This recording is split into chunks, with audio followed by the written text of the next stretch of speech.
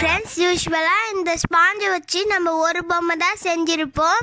ஆனால் இன்னைக்கு கொஞ்சம் டிஃப்ரெண்ட்டாக ரெண்டு பொம்மை சோஃபாவில் உட்காந்துருக்க மாதிரி செஞ்சுருக்கோம். உங்களுக்கு பிடிச்சிருக்கோன்னு நம்புகிறேன் தேங்க்ஸ் ஃபார் வாட்சிங் பாய்